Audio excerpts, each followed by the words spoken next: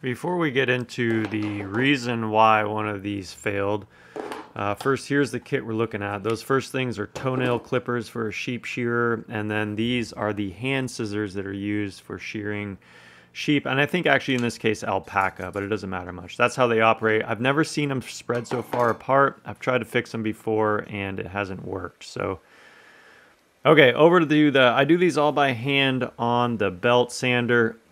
starting here with a 120 grit Cubitron. That's the I've uh, the, check out that angle. It's like steep. Uh, it's um, I don't have a number on it, right? But it's like over 30 degrees. I've tried it before, having them uh, like a finer edge, and the way these tools work, they um, it just put they caught the edges caught on each other, and it nicked the edge, and so now and then I looked at some others over time, and like they are kind of they're steep uh, off the shelf. So, all right, here's what I'm doing. I took a few passes. I'm doing the scissor trick where you put them together and then you open the scissors and it pushes the burr back over to the bevel. And in this case, I noticed that the burr wasn't coming up uh, back on the bevel over the whole thing, so we need to do some more grinding. Please also observe, uh, this has happened to me in the past, where when I'm putting these uh, over the belt, the, the blade in the back has uh, in the past contacted the belt and then it just shreds the belt from the back and puts a little damage on the blade. So this is a, a slow, mindful, deliberate thing to position these shears on the belt. This phase right here, right there, that's the hard part. If you bring it too close to your body, that blade in the back is going to hit the back of the belt and it's going to shred it and damage the belt or damage the blade. So don't do that. Okay, on to number two here. And uh, so the first one's put up a burr uh, nicely. Uh, same process here, uh, doing this, trying to watch the burr on the backside. And in the past, I have also used a wire wheel to uh, to push the burr from the flat side back to the bevel. Right now I'm feeling for it. Uh, this is the pair that ended up being a problem, and in this case I probably should have observed that there was an issue with these, but it did put up a burr, and um, the issue here that we're going to find out is the backside of these has been worked, so these actually needed a lot more grinding because somebody had worked the backside of that bevel so even though it's putting up a burr, when you go to close them one blade against the other, the the edges don't actually touch because uh, it has a bevel on the backside as well. So it has to be flat, and these are gonna these are gonna have to get ground back quite a bit, but we'll find out more about that in the future.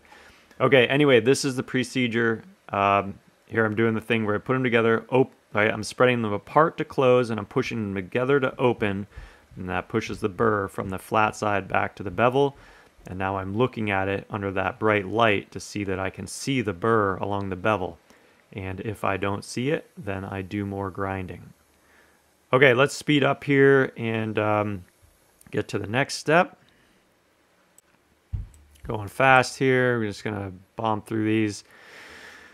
Um, these don't take a tremendous amount of time. This one ended up taking more time, but uh, anyway, charging on the order of 10 to $12 for these can kind of match that dollar per minute goal that I set for items in my shop. But anyway, moving on to the next step. Ultimately, what I've got here is the 400 grit Trizact belt, and it's just the same but different. Excuse me.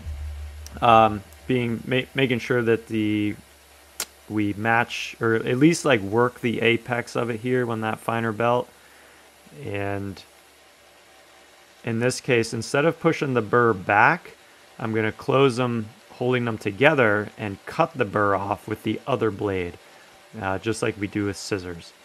And come over here and do the same thing on the other side, just repeating again here in normal speed to um, make sure that we get it. So previously I had pushed the burr back to the bevel. I'm using the 400 grit belt to Oh, got a little nick there. So what I'm going to do is pull it, push them together and pull that nick back.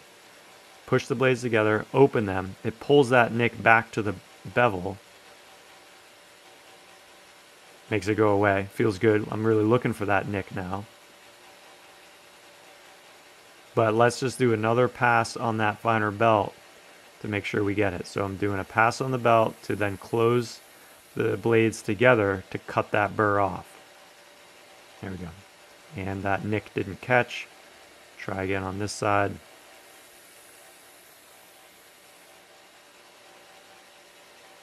Cut the burr off. Okay, those are smooth. Um, the that's essentially it. I'm gonna call that good. Uh, I'm gonna do the rest of them here, but uh, so for these, what I've been doing, uh, I've gone through a bunch of different iterations, like all the way up to like polishing them.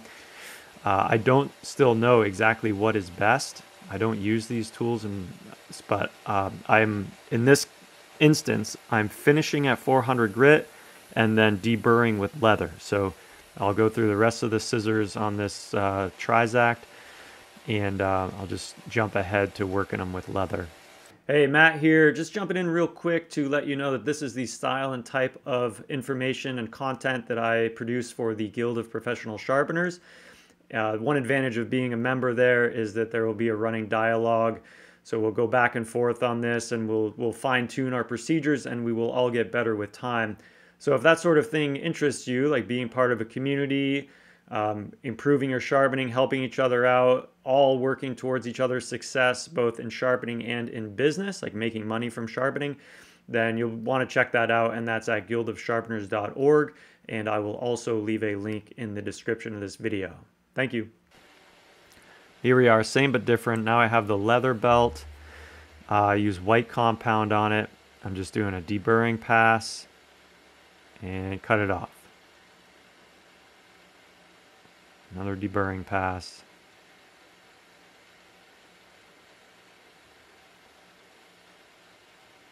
And cut it off. Okay, that's pretty much it. Just do that with all the others, and that's um, that's now I would consider those done. Now on to the cut test. So this pair is cutting nicely, nice and clean on the paper towel, and this pair, oh, you know what? I don't even have them together here. I shouldn't even show you this knucklehead. I'm looking at the camera, not you. Like, oh, that's a terrible cut test. Hold on. I, I think. There we go. Got it. All right, but now I got them the position the right way, but it's still sloppy. See, it's not cutting. It's that's the failed part of the cut test. It's pulling them apart. It's not cutting smooth. So let's take a look at that. Here's what's going on. Yeah, yeah, you see that line? The, the back's been worked. And I mentioned that earlier. Right, yeah, right there. The back has been worked. Somebody took something to the back of this blade and put a, a bevel on it. So like the, the edge, the apex doesn't touch when you close them. This is a big no-no. Like on scissors, any sort of tool like this, you can't, you can't do that. So the only way to fix these is to grind all of that back. And um, I, so I gotta, I mean, it might not look like a whole lot on the camera, but it's a lot of grinding. Here's a pair that has not been worked on the back.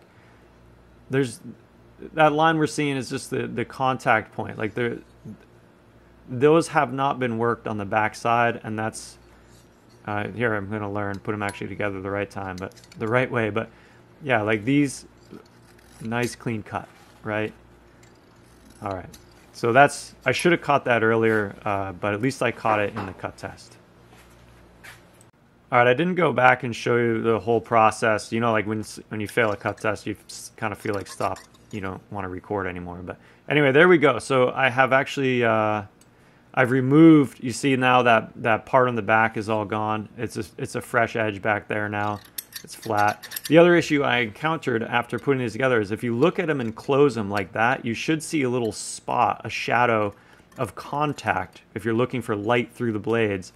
Uh, and I found out that they were bent as well. So they'd been worked on the back and bent. So I put them in this little tool like this. I'm just showing you this here for like to show like what I did. I didn't record actually doing it, but bend the blade back so that they actually contact when closing.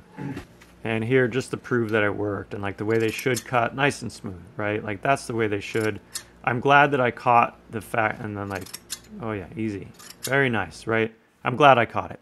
Yeah, and then here's just an image. Uh, the a lot of times these come with a leather pouch or something that like the shearer might wear on their hip. These had no sort of pouch or anything. I tried like rubber banding them together, but like they're kind of sharp now. So I ended up just putting them in like cut off sleeves and uh, um, just sharing with you. Like I thought that was like a nice little easy, quick way to send them back.